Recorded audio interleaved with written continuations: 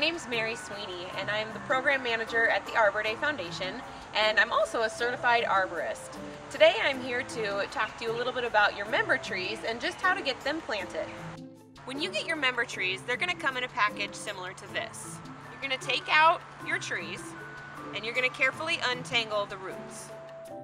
You're going to put it in water and you're going to soak these trees for about three to six hours. One important concept to keep in mind is right tree, right place. You want to make sure that the tree that you're planting has plenty of space where it can grow. So uh, take a look around the area. Are there any buildings nearby? What about other trees that have been planted? Are there any power lines overhead that you need to be aware of? I tell people look at pictures of what your tree is going to look like when it gets big so that you have an idea of just how much space you need for this tree. The first step in planting your tree is to remove the grass from a three foot area.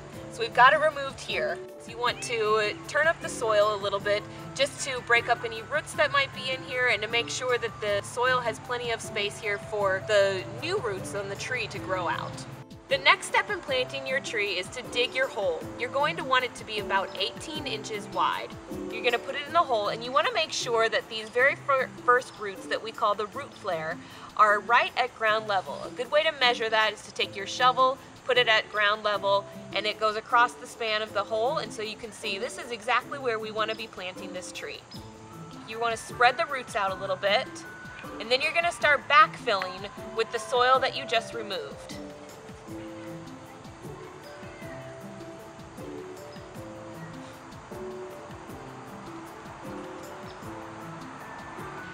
You're going to want to make sure that the tree is firmly packed in here, not too tight that you remove all of the airspace within the dirt, but just enough so that the tree isn't going to move anywhere. Then you're going to water your tree in. You want to give it a good soaking and then wait just a moment to let all the water soak in. We want it to go down into the soil as opposed to out One of the last important steps of planting a tree is to mulch the tree.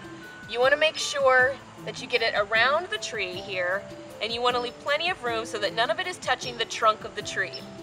A good rule of thumb is to put about two to three inches of mulch around the tree and that's important because it helps to keep the moisture in the soil and it keeps any competition like weeds from growing up out of the dirt. If you're getting trees in the fall, you can plant them up until the ground is frozen solid. You may want to dig your holes before that just to make sure that the ground isn't hard by the time the trees arrive.